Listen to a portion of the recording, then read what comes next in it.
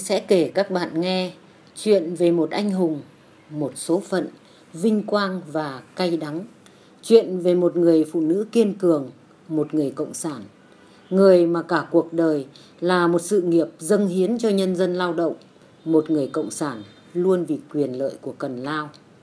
Câu chuyện của bà Ba Sương Bà tên thật là Trần Ngọc Sương, sinh năm 1949, anh hùng lao động thời kỳ đổi mới và là người phụ nữ Việt Nam đầu tiên được bình chọn là người phụ nữ tiêu biểu ấn tượng khu vực châu Á-Thái Bình Dương năm 2002. 21 năm liền là chiến sĩ thi đua các cấp, nhiều bằng khen từ trung ương đến địa phương và các tổ chức đoàn đội, 11 huy chương vì sự nghiệp của các tổ chức đoàn hội và các bộ.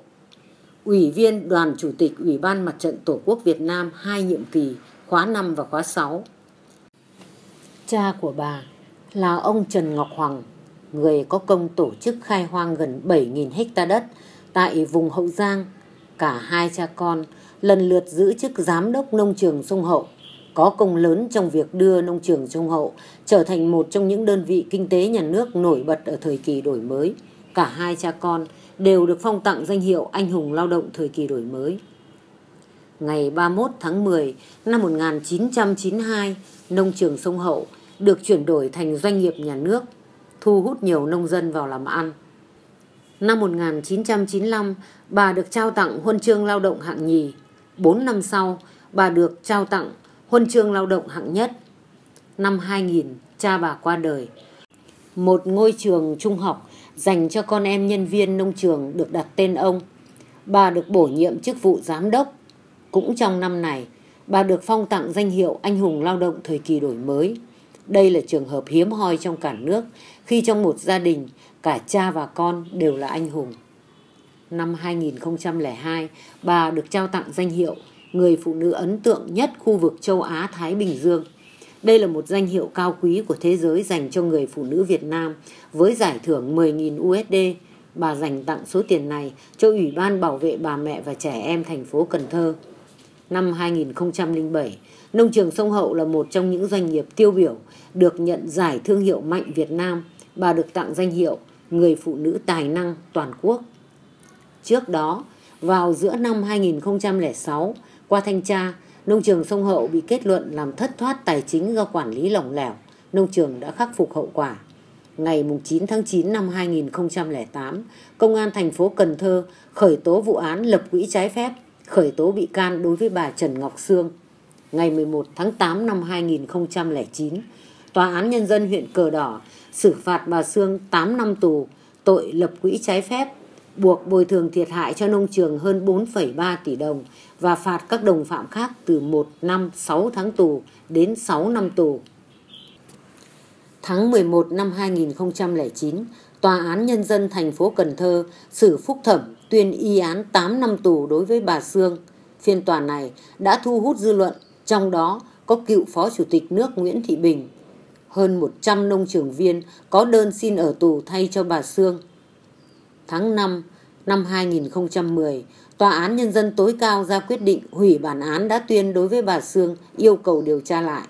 Ngày 21 tháng 2 năm 2011, Công an thành phố Cần Thơ hoàn tất kết luận điều tra mới về vụ án ngày 19 tháng 1 năm 2012, Viện Kiểm sát Nhân dân thành phố Cần Thơ công bố quyết định đình chỉ vụ án lập quỹ trái phép ở nông trường sông Hậu.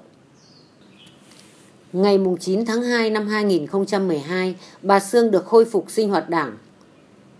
Tội lập quỹ trái phép là tội gì? Quỹ trái phép là quỹ gì? Đó có thể hiểu nôm na như là một quỹ phúc lợi dành riêng cho các nông trường viên, Bà con nông trường được hưởng lợi từ quỹ này. Nó là một lợi ích nhóm, nhóm cần lao. Là lãnh đạo của một doanh nghiệp thành đạt, nhưng cho đến khi nghỉ hưu, bà Ba Sương không có nhà riêng, không có gia đình riêng. Hàng nghìn nông dân nông trường đối với cha con bà như đối với những ân nhân là những người trong gia đình mình. Ngày 25 tháng 7 năm 2013, khi đã 64 tuổi, bà thành lập công ty trách nhiệm hữu hạn chế biến nông sản Ba Sương. Nhãn hiệu cô Ba Sương đã được đăng ký độc quyền.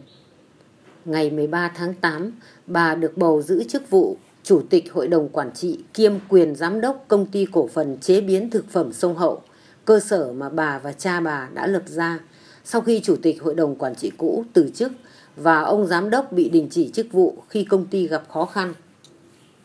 Đã qua hàng chục nước nông nghiệp phát triển, bà rút ra kết luận nông dân Việt Nam không thể sản xuất lớn vì đất đai manh mún. Bà muốn nông dân thực hiện những mô hình nhỏ vừa phù hợp với thực tế Việt Nam. Bà nói, nông trường sông Hậu từng là mô hình kiểu mẫu, không chỉ trong nước mà nhiều đoàn khách quốc tế cũng đến trao đổi kinh nghiệm.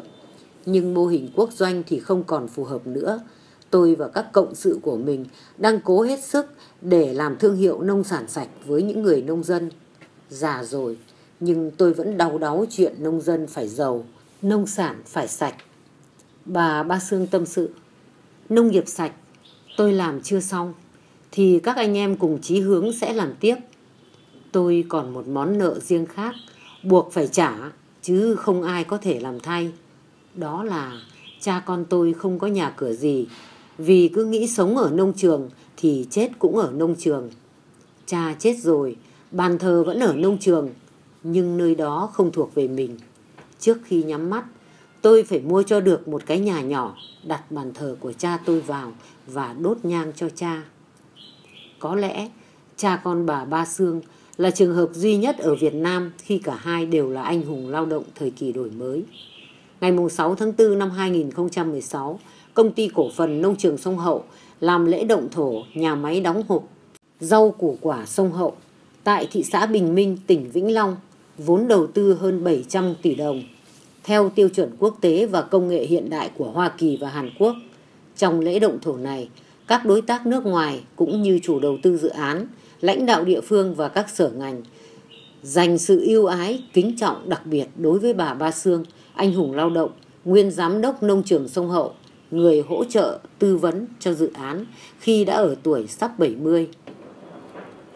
Người cộng sản già chỉ chút nữa thôi là rơi vào vòng tù tội.